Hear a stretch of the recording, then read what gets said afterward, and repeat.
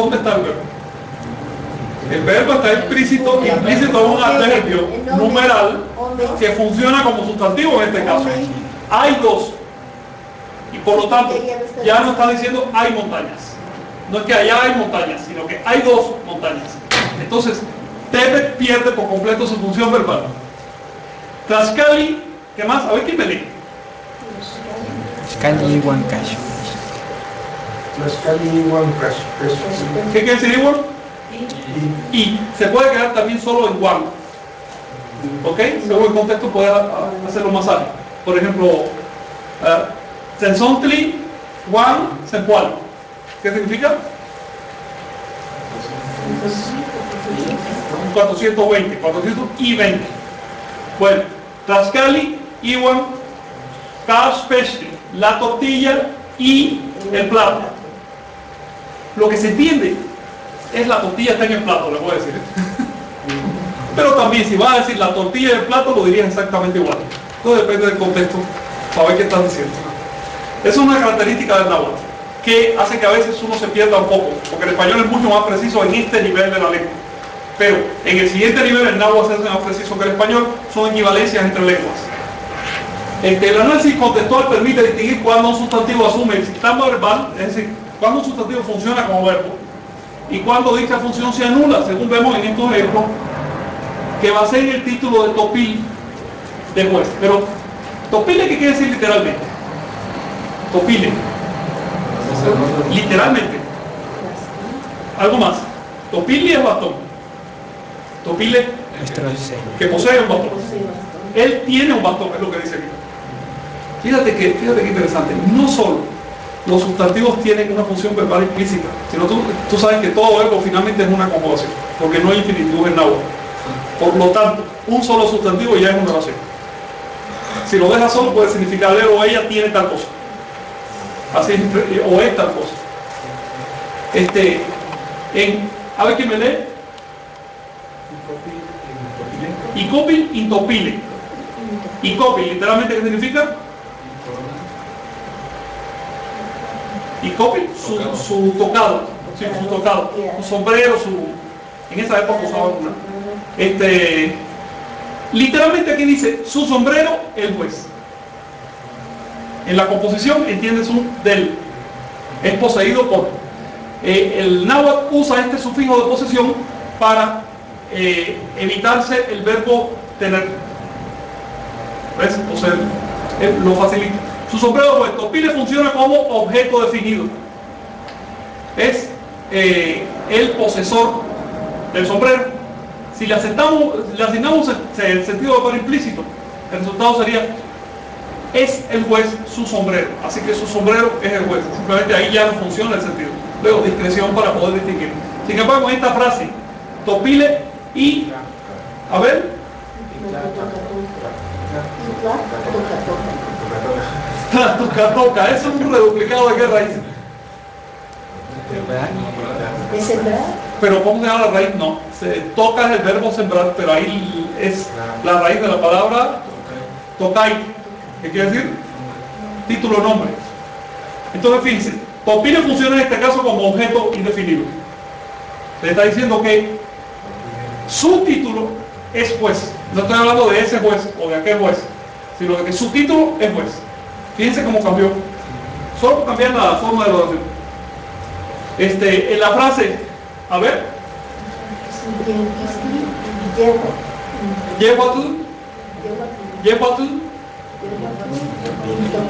y Topile. A ver, Itianquistli, que es decir, el mercado. Yehuatl, el mismo.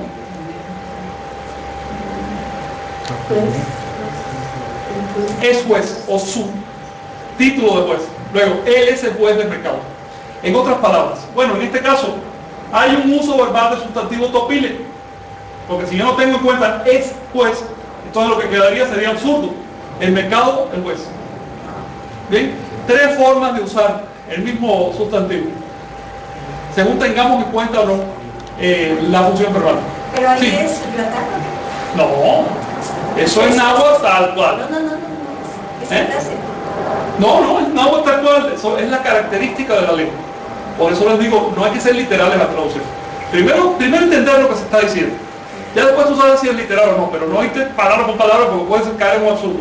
De hecho, es muy común encontrar que una primera traducción incorrecta genera después una teoría incorrecta. Y ya después ven al investigador buscando el sitio inadecuado. ¿Ves? No, vuelve atrás, vuelve a leerlo una y otra vez.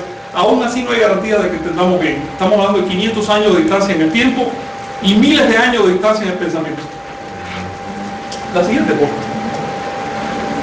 La función adjetívica por aglutinación. Fíjense que otra característica de los sustantivos nuevos es que pueden adjetivar. ¿Qué quiere decir adjetivar? Dar cualidades, atributos. Calificar cualidades. Cualidades. De dos maneras, por aglutinación dentro de un término. Es decir, cuando se aglutinan dentro de un término pueden calificar. Y por complemento en la frase. Vamos a ver, la siguiente, por favor. Por ejemplo, esta forma de, de adjetivar puede ser sistemática en los sustantivos que consisten en la nominalización de una cualidad. ¿Qué quiere decir la nominalización de una cualidad? ¿Quién me pone un ejemplo? Bueno, onda. Ah, prefiero otro ejemplo. A ver, con un color. Color negro. ¿Cómo se dice? ¿Cómo se dice negro? Tríptic. ¿Cuál es la nominalización de esa cualidad? Para decir ya no eh, color negro, sino algo negro. El negro. Trilli. Así le quitas el tic, que es sufijo adjetivo, le pones el li, que es sufijo nominal. Bien. Este, repito, la, eh, ¿me po- podemos ver arriba para leer toda la- todo el? Fíjense. La adjetivación por aglutinación es de dos tipos. Sistemática en aquellos sustantivos que consisten en la nominalización de una cualidad como puede ser un color, estado, los géneros, cuando no se usan como títulos. Esto es importante. Por ejemplo, ¿Cuáles son los géneros náhuatl? Ya saben que en náhuatl la palabra en sí no lleva género. El género tiene que ser explícito. ¿Qué cosa es el género en la palabra? Dice la cuchara y el tenedor. La cuchara es femenina y el tenedor es masculino. ¿Bien? Sí, bueno. Dices, ah, ah, a ver, la horca y el collar. Son arbitrariedades. En español no es necesario eh, justificar por qué uno es femenino y otro es masculino. Pero las palabras de español tienen género. Los del náhuatl todos son neutras. No tienen género. Pero si tú necesitas especificar que algo es hembra o macho, ¿qué palabras usas? Sí, Siwat y okish. Okish si la usas como al final. ¿Quién me pone un ejemplo de algo que sea hembra? Sí. Siwatoa. Resulta que no es la mujer serpiente o la señora serpiente, sino la serpiente hembra. ¿Ves? Claro que el título de serpiente hembra se le da a una mujer. Y ahí hay un juego, por supuesto. Pero la traducción correcta no sería la mujer serpiente. ¿Cómo se diría una mujer serpiente?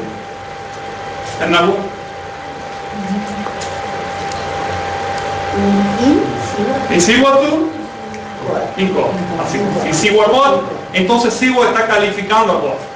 ¿Mm? Este, en los siguientes ejemplos encerrado entre paréntesis el sentido gramatical. Abajo, por favor.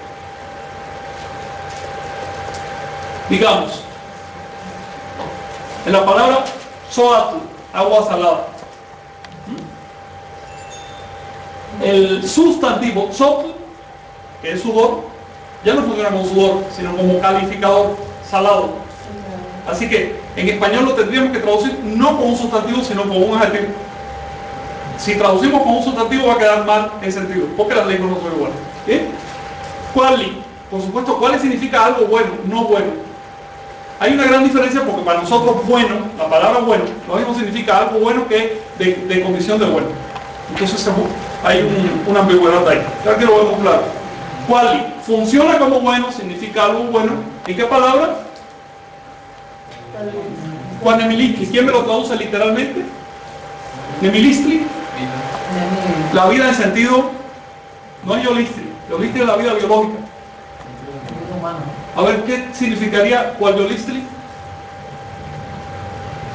Buena vida. Una buena vida. Cual Nemilistli, una vida santa, digna, pura. ¿Ves? Entonces, Nemelisti también significa vida, pero en un sentido ya de forma de expresión de conducta. Más espiritual. Ya no biológico, más espiritual, por supuesto. Este, aquali, simplemente malo, es lo contrario. Aquali. Literalmente algo malo, puesto que termina en sufijo nominal. ¿Cómo dirías malo? Así como adjetivo, literal, malo.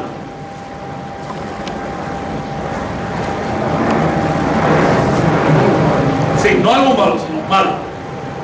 Lo malo.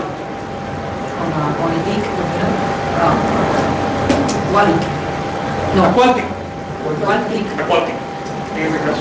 Entonces, miren el, este, la raíz, ¿eh? miren. Forma con la toli, el concepto de aqualatoli, las malas palabras. Aqualatoli. Por lo tanto, en este caso, el sustantivo inicial califica. Una y otra vez lo voy a insistir, tiene una función calificadora. ¿Por qué no se dice aqualatoli? ¿Por qué aqualatoli? ¿Qué regla hay ahí? Eufonía. De eufonía, que dice qué cosa?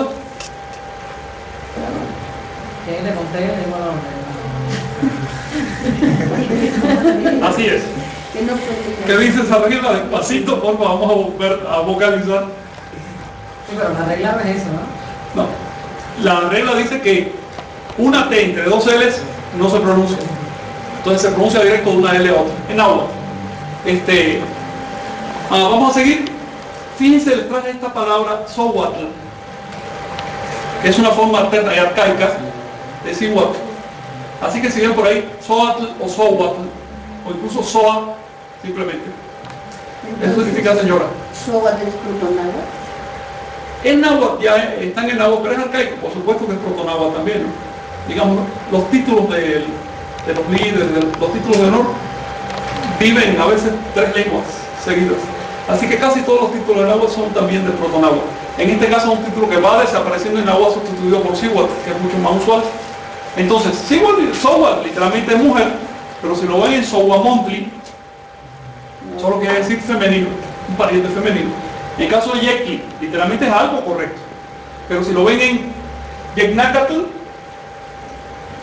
otro contenido de la palabra Nakatl. No solo es carne, también es madera. Madera como la carne del árbol. No confundir con cuautli, que quiere decir un palo del árbol, propiamente. Este, en este caso lo ven como Siwa, Siwapili.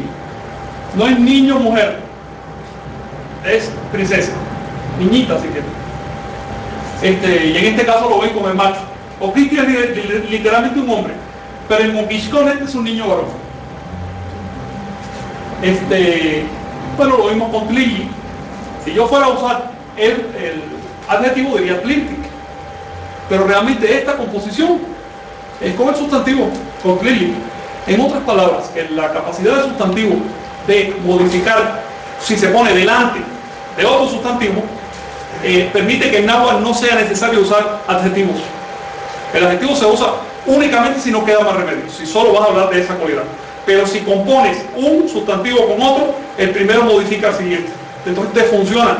Eso dulcifica la expresión, dulcifica el sentido. Lo hace más sencillo. A ver qué nos trae la pali, como en. ¿Quién me lee aquí? La espalda. La pala, literalmente. Literalmente. Agua oscura. Bien. O líquido oscuro. Atl no solo es agua, también es líquido. Líquido coloreado. Coloreado, es cierto. Rojo coloreado. La pali. Este. Nahuali, como en Nahual Piltzintli. Literalmente, respetable príncipe Nahual, que es un título no de la nobleza, ni mucho menos un título sagrado. Es el nombre que le daban a una deidad. Xochipili, que es una vocación de que sacó directamente de Tlahuicalpan de. Bien. Camopali, bueno, le recordará el camote.